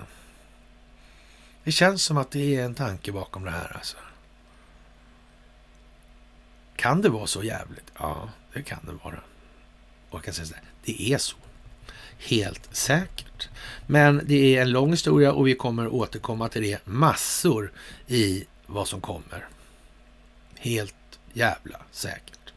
Jaha, Folkhälsoinstitutet i Norge har nu gett upp den här lilla varianten med att det är 300 000 dödsfall per dag, det vill säga på ja, ett par veckor där så hade man då hela befolkningen smittad. Och, och den lilla statistiska övningen, den gick på grund så det räckte och blev över. Och då backar man här och man kan väl undra då hur det kom sig att eh, innan man gick ut med det här och, och, och så att säga pusha på den propagandamässigt.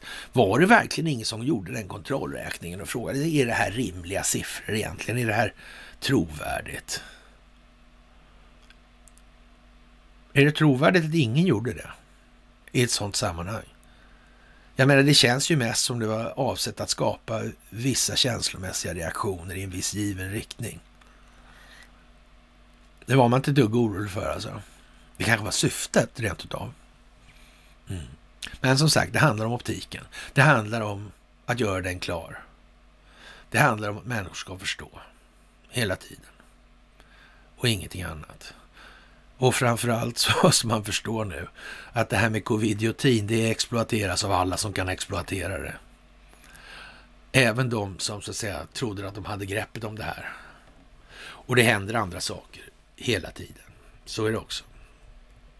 Ja, Jaha, mindset blowing in the wind och vi tänker på Ikaros när vi eh, hör att en NASA-farkost alltså har officiellt nu då berört solen då och det, ja så att säga, tagit sig igenom då den ja, outforskade solatmosfären som vi känner som corona. Det är lite lattjo. Mm. Sydpolen är full med konstiga saker också. Med det här drottning Mauds land och det där vi tjatat om. Det där ingick ju förresten inom det där Annen Anen Erbe också. Alltså det måste ju vara någon som har en jävla namnnoja som har hittat på allt det här. Mm. En tulisk jävel helt enkelt. Ja.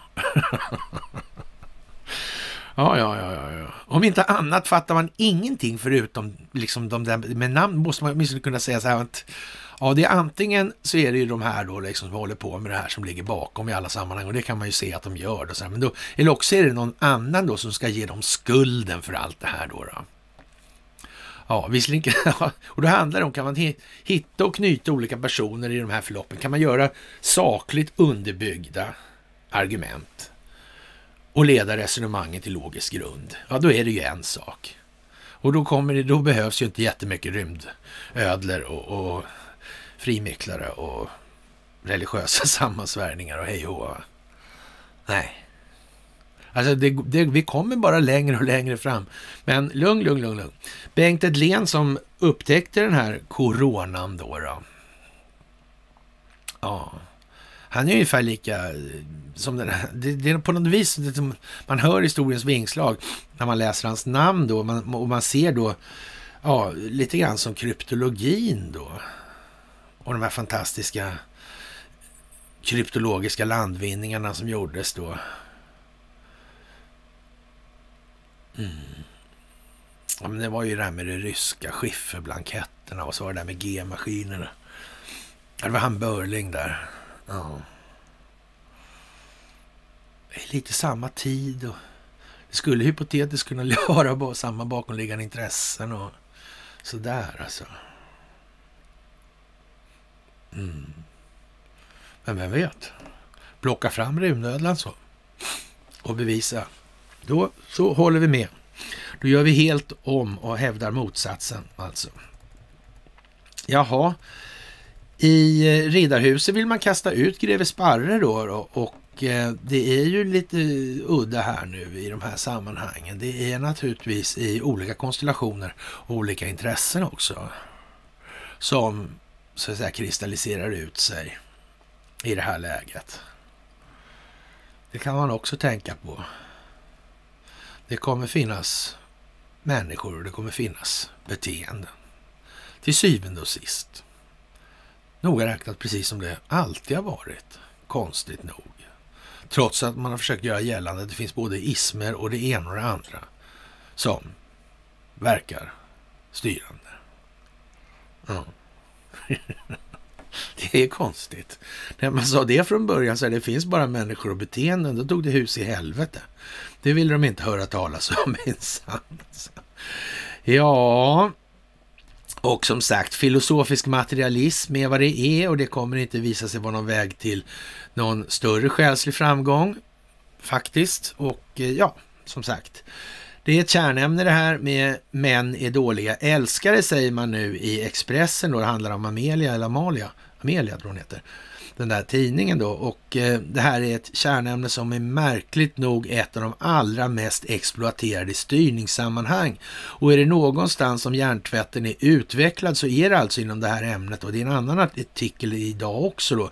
Det här är så dumt så klockorna faktiskt stannade vid tideräkningens början som vi sa tidigare. Och här talar man om då att män är dåliga älskare och man kan ju kanske tänka sig då att rent sådär hypotetiskt i alla fall så skulle man ju kunna tänka sig att det faktiskt finns kvinnor som är dåliga älskarinnor.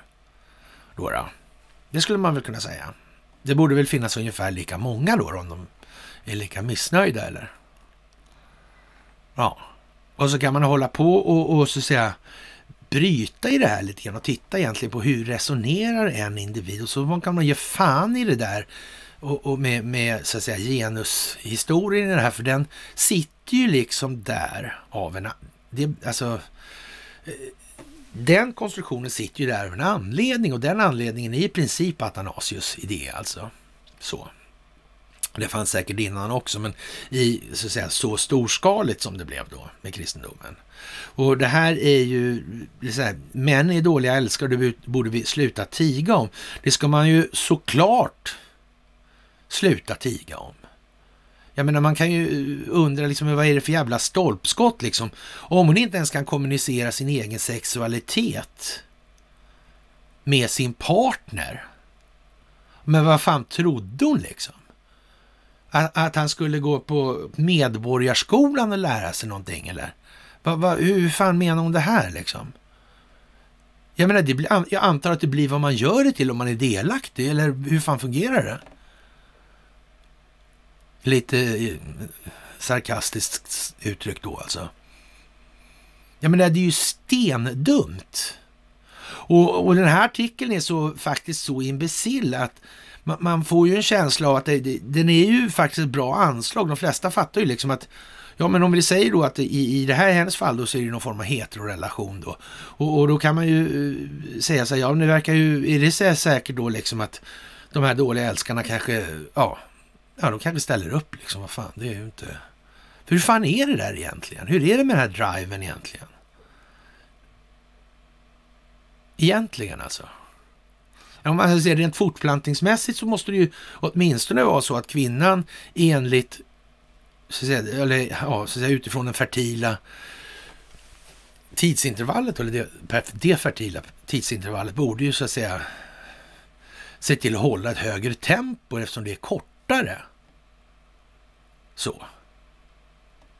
I rimlighetens namn. Och, och liksom redan där så tycker man ju någonstans att det... Och sen har vi då alltså de, de socialpsykologiska, socialpsykologiska stereotyperna som ändå tycks dominera det här till 100 procent. Jag menar, och då drar hon till då liksom det här med med, med klitoris och, och, och, så vidare, så där, och könsdelar och så. Men, men, men kom igen nu då, om du börjar med det, men led, som led resonemangen klart då åtminstone. Jag menar, har, har, hur många har diskuterat till exempel ja, könsdelarnas olika funktion, hur känslosammansättningen ser ut, hur ser nervbildningarna ut, liksom, vad går nervbanorna och så vidare. Så vad, och, och, om man inte ens har en aning om någonting liksom och tror det här bara ska fixa sig. Ungefär som att ett garage, man kör in bilen och tror den lagar sig själv. Liksom. Det är ju inte så. Du måste ju veta en massa saker. Och om man inte ens kommunicerar de sakerna med motparten, den andra parten i den här sexuella akten, men kom igen nu! Hur fan ska det bli liksom? Och klart att det är sådär, varför tar man bort orden då? Varför gör man tabun kring olika frågor i det här? Vad kan det vara liksom? Och de här avhållsamhetsidéerna sen Athanasius, vad fan kan syftet vara? Möjligen. Vad kan det vara? Ja, och så. Ja, ja, men det där är ju någonting som hänger ihop med vad som kommer. Och tro mig, det kommer big time alltså. Och är det någonting som är eftersatt i de här frågorna så är det faktiskt att sätta ord på sina egna tankar, sina egna sexuella fantasier i relationer och så vidare och så vidare och så vidare. Det är ju liksom hur mycket som helst. Och vad får vi lära oss? Jag menar, vi har ju rollförebilder om man säger att folk i, i min ålder har ju då föräldrar som vanligtvis är födda då på 40-talet. Mm. Och de hade väl i sin tur sin rollförebild då, eller så att säga relationsförebild i den generation som var födda någonstans i början på 20-talet. Jag menar, kom igen nu, vad kommunicerar man på den tiden? Det var ju... Ja, det gick inte ens på kanslisvenska helt enkelt, för han var inte född än. Jo, det var han väl i och för sig, men han hade inte börjat med sin språkvård än. ja, vi tänker på Anna Närbe och vi tänker på Doggerland och sen delar vi den här med Hitlers okultister. Vad var det egentligen de letade efter? För det var en artikel från förra året och det har inte varit något sådär skitstort läge för det här med ja, anor och arv och hur det här det är ju som det är nu. Mm. Och, men det finns. Och han har ju den här klassiska då måndagsmysgesten Adolf Hitler på den här bilden. Den här, så här. Ja, och det är ju lite sådär halvkomiskt tyckte vi. Så ja, värt att läsa och sätta sig in i det. Det här kommer att komma jättemycket. Och eh, som sagt, ja, eh, komma med sagor om att Himmler, alltså Himmler hade ju en förkärlek till det okulta, den svarta solen och var ursprunget till den ariska rasen och såna grejer. Men hur fan vet man det? Jag menar Himmler, han förhandlade via sin massör med Hewitt som var representant för amerikanska Swedish Match, som i sin tur förhandlade åt Wallenberg med den här massören. Ja, om att avsätta Adolf Hitler. Men vad, tror någon att Hitler eller Himmler redovisar sitt känsloliv i öppen terminologi och så vidare? App för avlyssnade det här förhandlandet. Hitler vågar inte göra något. Jaha, så tokigt. Och varför skickar han egentligen Hess hemligt? Hur kom det sig? Vem var han rädd på? Vem på hemmaplan var, plan var han så rädd för så han inte kunde tala om det där? Vem var det som han var så rädd för? Ja, som sagt. Och han hade Sven Hedin som idol. Mm. Varifrån kom rasbiologin? Och så vidare, och så vidare, och så vidare. Ja, Signalspaning och tystnadskultur är lite intressant, så att säga, när de värnpliktiga uttrycks för destruktivt ledarskap, säger man, och skickar ihop, hem allihopa då från då gamla S1 då, då eller signalspaningsregementet då, eller signalregementet. Det var ju lite sådär, sådär va. Men det här med spionverksamhet och sådär utan tystnadskultur och signalspaning utan, och alla går och glappar om vad de plockar hem. Nej, jag vet inte fan alltså. Det ska inte vara något allmänt sladdrande där. Jag tror det är dumt alltså. Det verkar liksom... Ja, det verkar bli dåligt helt enkelt. Så jag tror att någon kanske har tänkt där alltså. Men att man samtidigt gör så här just nu. Det är trots allt så att det måste ju finnas en militär reguljär entitet i botten om man ska till exempel eh, i någon logisk konsekvens kunna motivera att man blir utsatt för industrispionage från exempelvis då Ericssons eller Saabs sida i det här. Om den där åker hem nu och, och det här fortsätter och det här håller på att trilskas då. då. Jag menar, då är det ju några slags rena jävla företagsintressen som företräds och ingenting annat. Och det här är ju jättekonstigt. Det handlar om optiken. Det handlar om att göra klart att det här är en ren jävla lekstuga och så har det alltid varit. Det har aldrig varit någonting annat. Och det här med att de skaffar jobb. Nej, de skaffar inga jobb. Möjligtvis skaffar de sysselsättning och betalningen för det här det är så lite som det bara går utan att det ska bli revolution här hemma. Folket kommer, befolkningen kommer revoltera så fort de fattar det här. Det är det som är problemet. Därför måste hjärntvätten gå i den riktning som den har gått. Det finns inget att välja på helt enkelt. Och då pratar man återigen om ledarskap och destruktivt ledarskap. Det är inget ledarskap det heller. Det är inte så. Ledning är upplysning till vidare ledning och upplysning. Och det är inte diskriminerande. Det är lika behandling. Det är altruistiskt till sin funktion. Det kan inte diskriminera. Då är det ingen ledning. Då är det särskiljning direkt. Ja, men det här är inte sådär jättesvårt vid det här laget, tycker jag, för er. Och titta på covid och titta på covid igen då som sagt. Det förstår rätt många nu och eh, Staten tjänar miljarder, säger man då från olika håll när hushållens elräkningar skenar. Och det är stötande rent utav alltså. Och det är alltså inte själva priset i botten på det här som är, ja, problemet eller som är grunden i det här, utan det, det, då är det den här beskattningsdelen som är problemet.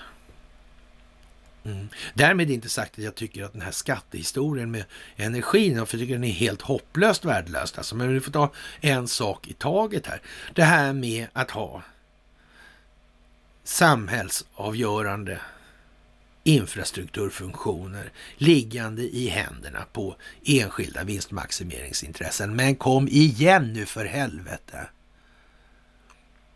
Alltså det, det måste ju bara vara en sekundfråga innan politikerna inte ens vågar stå och säga det här längre. Men det krävs ju att vi ställer oss upp och säger ifrån. Vi matar på i den här delen.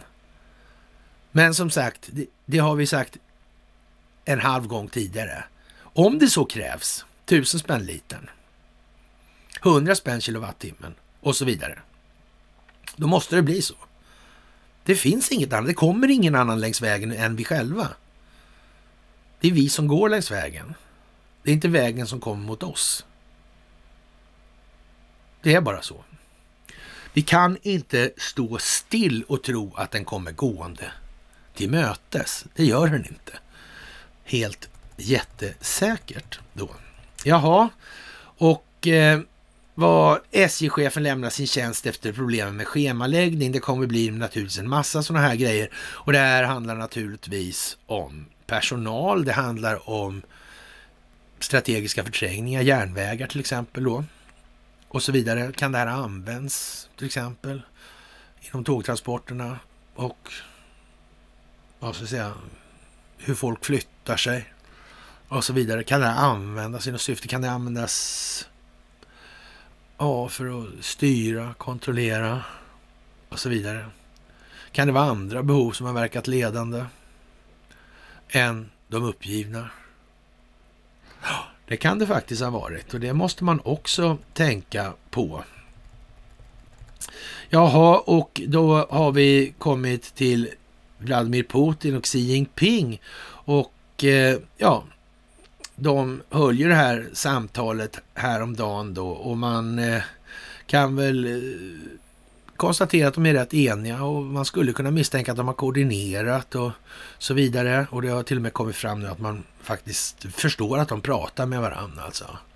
Men, men, men eh, eftersom båda är dumma i huvudet då enligt svenska medier så ja, de begriper ju inte att de skulle tjäna på att göra gemensam sak då mot ja, vad de nu anser vara då den yttre fienden för deras respektive land. Nej, men så är det ju naturligtvis. De är inte tillräckligt, tillräckligt västerländskt smarta helt enkelt. Jaha, och en då åklagare, eller ja, åklagare i, i District of Columbia, DC där alltså. Han stämmer då de här Proud Boys och Oath Keepers då för den här historien den 6 januari. Och det kan man ju säga så det är en slags omvänd grupptalan och någon slags kollektivt åtal alltså. Ja. Mm. Det är inte individer som ska åtalas alltså. Nej. Ja, men vi får väl se om det blir något bra. Man ska vara försiktig med vad man önskar sig med andra ord i det här sammanhanget. Vi har tagit upp det här med Haijby-affären eftersom den kom på tv i anslutning till jul och det här är ju då så att säga den det här med rättsröta-affärerna och det här är ju en sån grej som Vilhelm Moberg har tagit upp och det är ju ofta kopplat till Vilhelm Moberg de här. Och några människor i den här historien och ja, som Karl Gerhard och så vidare har ju haft vissa insikter i de här sammanhangen och det hade Vilhelm Moberg också. Och det här är någonting som har att göra med överståthållaren Torsten Nothin som jag har pratat om massor med gånger och hans inblandningar i de här olika sammanhangen. Vi har talat om det på föreläsningar och så vidare hur många gånger som helst. Och det är jättebra när ni rekommenderar för era vänner och bekanta att titta på de här föreläsningarna och försöka så att säga, se de sammanhang vi beskriver utifrån de bilder som finns och vi visar samtidigt i det här så det blir lite lättare då. Nu har det kommit så långt att man då så att säga måste köra upp det här på tv. Och vi kan säga så här att Kultursverige har faktiskt alldeles, alldeles jävla säkert fått en pekpinne helt enkelt. För det är inte så att de inte hade kommit på det här tidigare själva. Annars. Mm. Det är som det är nu. Och det kommer att bli precis vad det ska. Och Eh, vi har beskrivit det där återkommande i massa olika sammanhang och det är bra att känna till de här faktiskt. Och det blir lite Hedin och så vidare, det sitter ju ihop allt det här. Och eh, man får ta vad man har som Kajsa Warg sa och dra ner trosorna då, på tal om det här sexuella. Så nu kan vi alltså få ukrainska förband som övar på svenskt territorium och eh, vi har ju trots allt några fortfarande då några stycken sådana här nyrenoverade då BMP, BMD det är sådana stridsfordon då från gamla Warszawapakten. Och eh, ja, de står på miloverkstäderna runt om i landet och antar jag fortfarande då. I någon omfattning i alla fall så de här ukrainska soldaterna som ska hit och öva då har någonting att åka i då kan man tänka sig. Och eh, ja, jag tror inte på minsta vis att man har missat det här från varken rysk, amerikansk, kinesisk eller någon annan inblandad sida, så att säga. ja, det är ju så att Hultqvist alltså skrivit ett nytt avtal då med Ukrainas försvarsminister om då de här överenskommelse om informationsutbyte och samarbete kring utbildning av militärer enligt försvarsdepartementet. Och det avsett, avtalet ersätter det tidigare protokoll från 2001. Och eh, ja, vad ska man göra, sa ah, den arma flickan helt enkelt. Sådär, så det är väl bra. Ja, och eh, vi drog oss till minnes det här med Ekobrottsmyndigheten häromdagen då. Och det där, där, eh, gick ju som det gick och då valde vi att ta upp det här med varför var det egentligen Bill Browder som gjorde den här anmälan mot Swedbank? Ligger inte han otroligt dåligt till oss i Ryssland? Mm. Och sen exponerar han Swedbank så här. Där han själv har medvetet pengar dessutom. Och det är det ingen som har nämnt. Mm. Hur kan det här sitta ihop egentligen? Ja, det kan man verkligen fråga sig. Det är ju jättekonstigt helt enkelt. Ja. Ojsan Skojsan, han är också i farten och eh, när det gäller just de här typen av frågor. Då säger han till Morgan Johansson, Morgan snälla, alltså du måste styra upp Ekobrottsmyndigheten. Och, och sen avslutar den här långa, i övrigt ganska trista artikeln då, men du vill väl ändå att kampen mot den ekonomiska brottsligheten, en verksamhet som inte minst kriminella gäng och klaner, det kan vara lite olika nivå på de grejerna, alltså, ja, allt mer intresserar sig för, ska bedrivas så effektivt som möjligt. Sen blir det frågetecken. Är inte det speciellt så säg?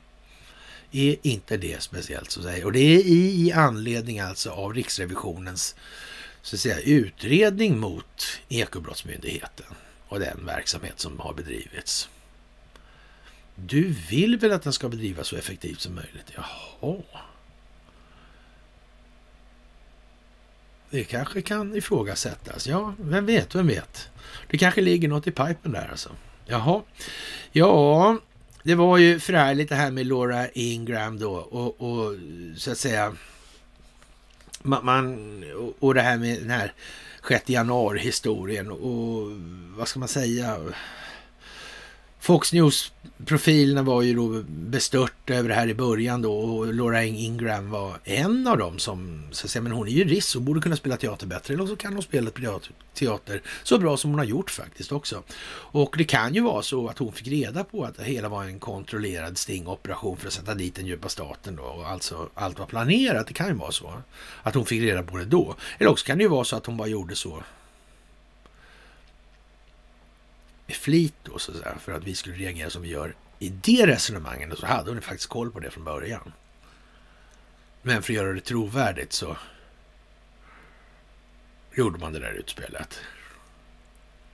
Ja, och det här är ju lite sådär äh, speciellt när, när, när då, om ni går ut med det där och, och, och vad ska vi säga? Eh, ja, Genom att offentliggöra de här meddelandena råder utredarna bot på den kollektiva minnesförlust som gjort att konservativa tyckare och republikaner tillåtits glömma hur allvarlig stormningen kändes där och då. Okej. Okay. Exakt vad står det? Ja, kändes där och då, ja. Hur det var då? Vad innehöll det här? Vad är det för någonting? Vad, vad... Ja. det är konstigt det där. Det är konstigt. Och eh, jaha, med den ukrainske försvarsministern i Sverige och eh, ja, hålavsyn presidentvalet i USA alltså passerat så med ett år då ungefär så har vi nu med ovillkorlig naturlagsmässighet kommit fram till Stockholmsbyråkratins Poltava då i de här sammanhangen om vi ska hålla på med de här omformningarna. Då, ja, vad ska vi säga? Och nu säger Joe Biden att han har liksom lite bakbunden gällande Ukraina och de här verksamheterna. Och det kan man ju tolka lite som att han har ju faktiskt en son då som har fått lite för mycket pengar därifrån och lite för mycket inblandning i massa olika saker i de här sammanhangen. Det kan man ju tycka är lite eljest kanske. Det är lite Rosatom, det är lite och så vidare. Ja, sådär kanske. Lite Brysma. Ja, lite Hillary Clinton. Mm. Och så vidare. Ja, ja. Det kan ju vara så lite House of Sweden kanske också förresten. Jaha, och det är ju bra att komma ihåg det då kanske. Och som sagt, de här 500 värnpliktiga skickades då hem ifrån Enköping och det får vi nog se som en rätt så kraftig vattendelare just nu. Och eh, jaha, det är så att säga Lite halvpinsamt där med Ukrainas försvarsminister. Det är väl lite väl övertydligt kan man tycka, men okej, okay, det måste vara den optik som är för att det ska bli som det ska bli naturligtvis. Jaha, och inflationstakten är 3,6 procent och återigen, det är dags för den svenska befolkningen att vakna och fatta någon gång att prisökningar, är prisökningar och inflation är någonting annat och prisökningar är en möjlig konsekvens av inflation, men det är inte inflation. Det ena är ett inflöde, det andra är en prisökning. Ja, så. Och, och finansiell tillgångsprisinflation råder, absolut. Ja. Men eh, det råder deflationsbaserad stagnation i realekonomin. Den del som gör någonting alltså. Så är det också. Och eh, det är väl ungefär med det så, ja, vi kan väl säga det här med, det är ju ett trist läge för Facebook nu när man säger då att de här fact-checkers är ju rena jävla opinionsbildarna. Ja, så där, det var inte så bra för aktierna det heller.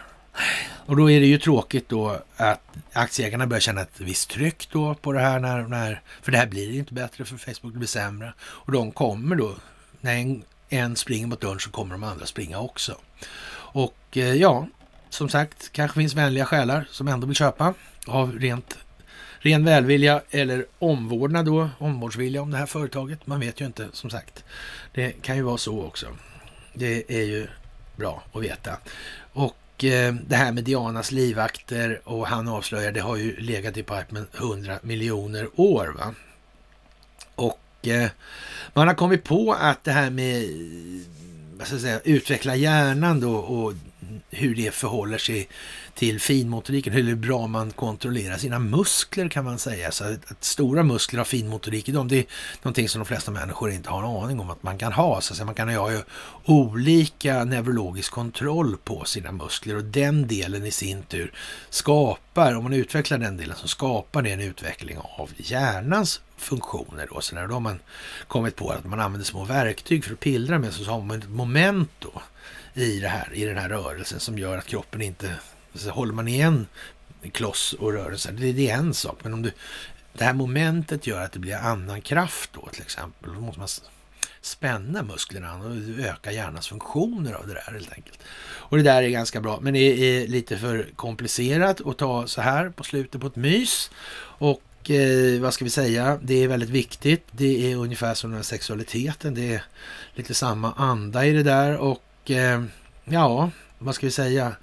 FN, talibanerna bakom 72 olika avre avrättningar. avrättningar. Nej, men allvarligt talat alltså, det är som det är. Alltså, nu river de det här själva. Man slänger ner skiftnycklar i då den här växellådan för att tvingas fram en motorrenovering helt enkelt. Det är bara så. Och som sagt, det är väl kanske lika bra att kungen inte åker till Kina och det är företagsstängningar efter nytt utbrott i Kina. Man kan ju tänka sig att det är en hel del företag i Kina faktiskt sedan 200 år tillbaka ungefär som ja, i någon mån kommer få en förändrad tillvaro. Så det är ju inte så svårt att räkna ut kanske. Och ja, de har lagt sig i inre angelägenheterna länge och eh, ja, vad ska jag säga mer? Det är ju tider för förändring, det är tider för glädje, det är tider för eh, till exempel att eh, det kommer fram att Ericsson har spionerat på massa olika företag med hjälp av sin telekominfrastruktur.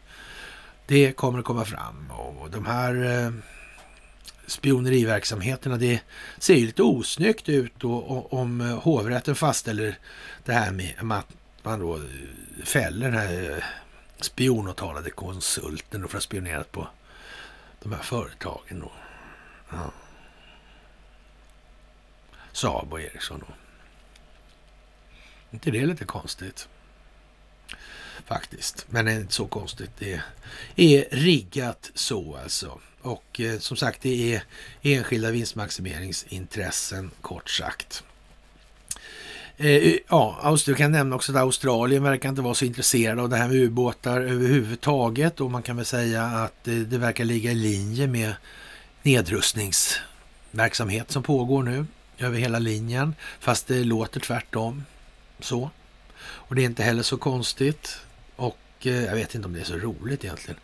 Och ja, vad ska man säga? Vi, någonstans så, ja, vad ska man säga, när, när de här då, man, man får orgie på 25 personer i Nya Zeeland. Fivas land alltså. Ja, men då är det väl vad det är va? Då har man i alla fall lyckats rätt ordentligt med både den här sexualiteten och eh, könsroller och mycket så. Och det kan ju vara som det är med den saken. Och BankID har problem då, eller hade problem för ett par dagar sedan här då. då. Och ja, det är Bra, men man eh, ska säga den här typen av infrastruktur ska väl ligga under samhällets regi kanske kan man tycka då. Och ja, körkort och pass och sådär, det är ju liksom ingen, ingen som kommer på att det ska ligga hos privata vinstmaximeringsintressen. Inte en chans liksom. Och skulle vi låta Google sköta folkbokföringen? Nej. Och varför ska vi ha det så när det gäller de här delarna? Men dit är det en bit. Men det är dit vi måste komma och det är det vi pysslar med och tar oss dit. Så säkert som bara den. Vi har slagit ett slag för situationen i Polen och öststaterna också i olika sammanhang. Och ehm, ja, det här med AI, det är vad det är. Och det, den har ju liksom det finns ju många aspekter på det här, men det, trots allt är det så här, en dator kan aldrig uppleva känsla. Och alla människors känslor är unika. Det finns ingen människa som har en likadan känsla som någon annan. Eller samma känsla heller, som någon annan någon gång, någonsin. Så är det. Och eh, med det kan man väl eh, nästan säga att vi är väl lite färdiga med dagen och nu har vi gått det här baklänges. Det här myset var ju alltså kört från nyss till för några dagar sedan. Men som ni märker då så blir det ju liksom... Eh, ja, det blir samma sak. Det sitter helt enkelt ihop hela tiden. Beroende på hur man tar de här riktmärkena. Och, och, det är ju det som är liksom meningen, att man ska kunna sy ihop det här till en helhet. Någonting som går att överblicka, någonting som går att förstå. Så. Och med det vill väl jag säga det största av tack till eh, alla er. Det är fantastiska. Och det är en stor glädje att få göra det här tillsammans med er. Absolut. Och eh, med det får vi väl tillönska varandra en god liten piglördag i den här jultiden som nu står för dörren. Det ska bli riktigt spännande att se vad det här mynnar ut i. Okej, vi hörs väl senast på fredag. Och som sagt, fantastiskt att ni hjälper till att driva på kanalen så här mycket. Fantastiskt. Ni är jätteduktiga. Och ni ska, man ska inte stirra sig för blind på så att säga, man, det är häpnadsväckande siffror så att säga. Eller rättare sagt, det är häpnadsväckande anomalier. Men det är som sagt som det är med företag som ligger i sfärerna för att kanske bli uppköpta till följd av ett fallande aktiepris om man uttrycker sig som så. Lite hovsamt men ändå kryptiskt. Trevlig kväll så hörs vi på fredag.